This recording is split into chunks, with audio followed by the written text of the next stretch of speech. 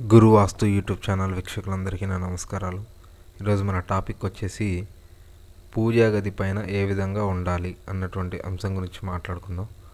ముందుగా నా పేరు దుర్గా సాయినాథ్. మీకు గల ఏ వాస్తుపరమైన సందేహాల కొరకైనా సరే ఈ స్క్రీన్ మీద కనిపిస్తున్నటువంటి నెంబర్కి కాల్ కానీ వాట్సాప్ కానీ చేసి మీ వాస్తుపరమైన సందేహాలకు సజెషన్స్ తీసుకోగలరు. అదేవిధంగా నూతన గృహ నిర్మాణాల ప్లాన్ల కొరకు కూడా సంప్రదించగలరు. మా వీడియోస్ మీకు నచ్చినట్లయితే లైక్ చేయండి షేర్ చేయండి సబ్స్క్రైబ్ చేసుకోండి కమెంట్ చేయండి మీ ఫ్రెండ్స్ అండ్ ఫ్యామిలీ మెంబర్స్కి సజెస్ట్ చేయండి. తద్వారా మీతో పాటు వాళ్ళు కూడా వాస్తుకు సంబంధించినటువంటి సరైన నాలెడ్జ్ తెలుసుకోవడానికి అవకాశం ఉంటుంది. టాపిక్లోకి వెళ్ళిపోతే ఇక్కడ మీకు ఇమేజ్లో కనిపిస్తున్న విధంగా ఇది వచ్చేసి పూజా గది.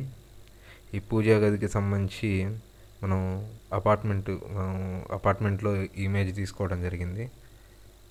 అయితే ఇక్కడ లెఫ్ట్ సైడ్ మీరు పూజా గదికి లెఫ్ట్ సైడ్ అబ్జర్వ్ చేస్తే ఇది వచ్చేసి ఈశాన్య హాలు ఇటువైపు వచ్చేసి రైట్ సైడు ఆగ్నేయంలో కిచెన్ ఉంది.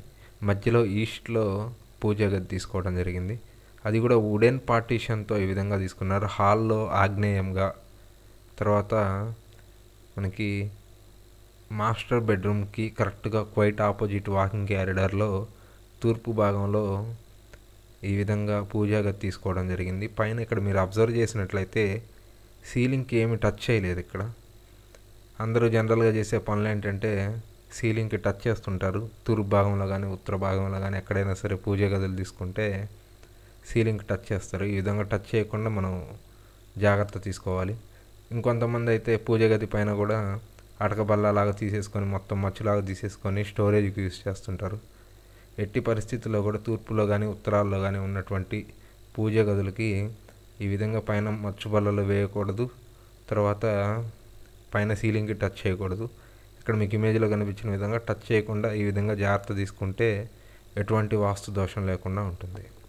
Thank you. Thank you for watching.